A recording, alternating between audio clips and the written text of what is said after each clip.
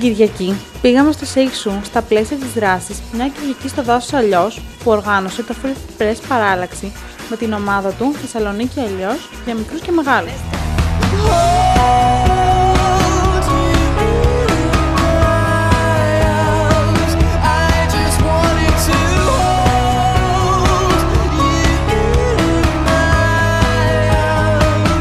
Η ημέρα ήταν αφιερωμένη στο δάσος.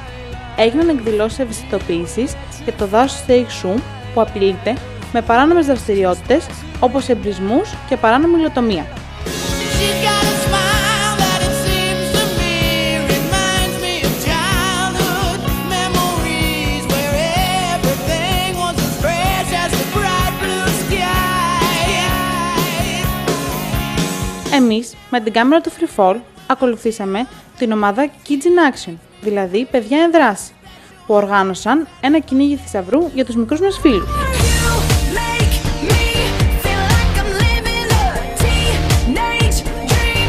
The way you turn me on, I can't sleep.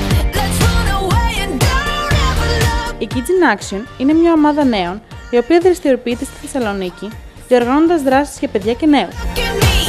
At me. Just Τα παιδιά χωρίστηκαν σε ομάδες και έψαξαν για το κρυμμένο θησαυρό μέσα στο ζωολογικό κήπο με τη βοήθεια μόνο ενός χάρτη. chance and don't ever look back. Don't ever look back.